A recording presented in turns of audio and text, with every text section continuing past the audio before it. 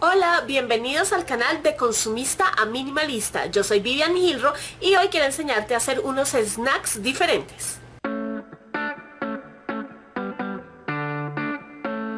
Dentro de todo este proceso de no querer desperdiciar nada, hemos empezado a utilizar muchísimas de las cáscaras de los alimentos para hacer compost para nuestro huerto casero, como ya les conté en un video anterior que les dejo por aquí el link por si quieren ir a verlo. Pero también descubrí que puedo hacer snacks con las cáscaras de las papas. Así que hoy quiero enseñarles cómo se hace porque es súper fácil. Cuando peles tus papas, si no vas a hacer compost, entonces bueno, queda la cáscara, te voy a enseñar qué snack hacer.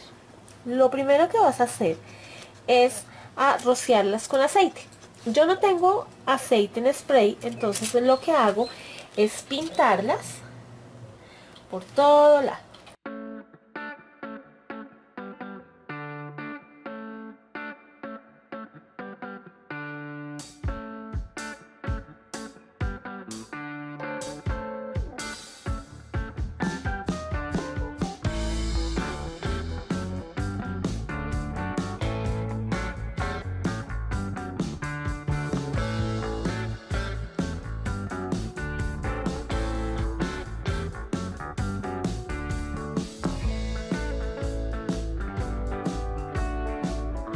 Luego les agrego sal.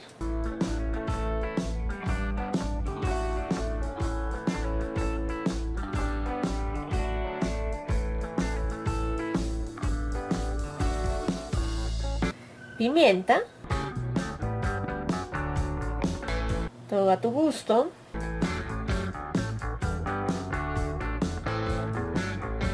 Y si quieres algún chile o algo que pique más, yo tengo acá este producto que es una sal picante, le voy a poner solo un poquito para que no me queden súper saladas, pero sí piquen. Ahora los voy a hornear a 200 grados centígrados hasta que estén crujientes. Eso más o menos dura unos 10 a 15 minutos. Tú vas revisando porque cada horno es diferente. Pero yo lo dejé unos 15 minutos y ya se ven crocantes. Entonces decidí sacarlas y disfrutarlas. No, esto parecen papas fritas de paquete, están exquisitas, picanticas. Mm. Son crujientes, deliciosas. De verdad pruébalas porque parecen las papas del paquete, entonces uno se quita ahí un antojo bobo y allá estás comiendo cosas procesadas y con esto son cosas más naturales. Además, no generas basura por la cáscara, sino las vas a usar en compost.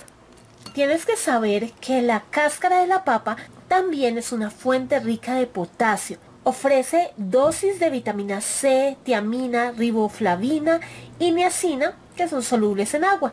Además tiene calcio, manganeso, zinc y hierro. Además, prácticamente la mitad de la fibra saciadora de ese tubérculo está en la cáscara. Como ves son muy sencillos de preparar y quedan deliciosos. Así que espero que te animes a prepararlos y me cuentes a ti qué te parecieron. Y qué tipo de papas utilizarías para esto.